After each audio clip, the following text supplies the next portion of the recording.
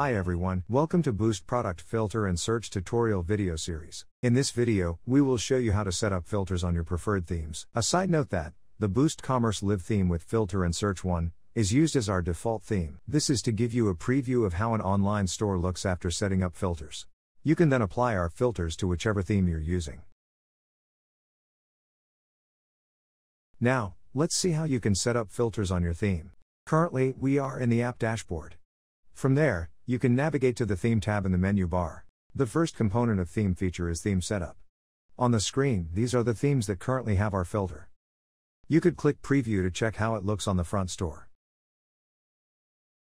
If you want to set our filters on another theme, you can scroll down a bit to our Auto Setup. Before you apply our filter on another theme, it is a good idea to duplicate it so you could have a backup. We have prepared a document link for you to follow in case you do not know how to duplicate it. After that, if everything is set, get back to Product Filter and Search App to click on I have duplicated my theme.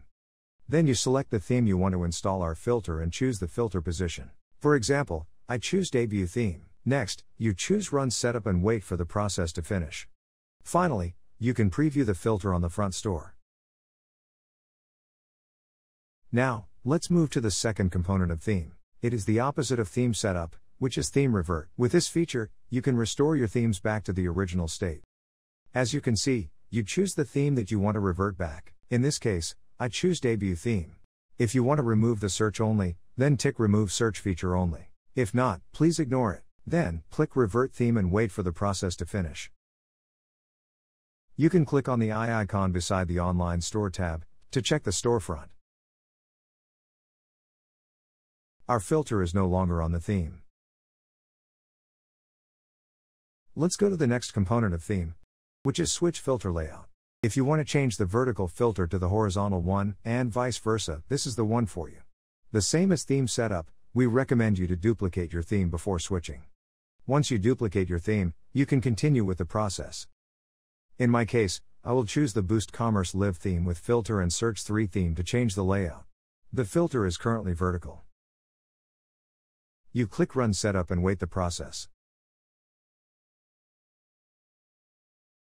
Finally, we go to Online Store and check the storefront.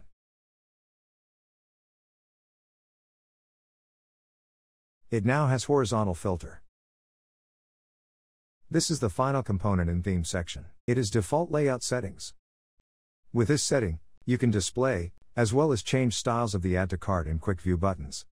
For instance, I choose style 6 for them and keep the same background color, hover color, etc. You can see how it changes in the preview.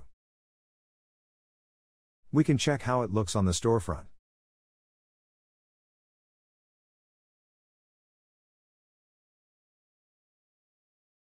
This is the end of the tutorial. Reach us at support at boostcommerce.net if you need any further assistance.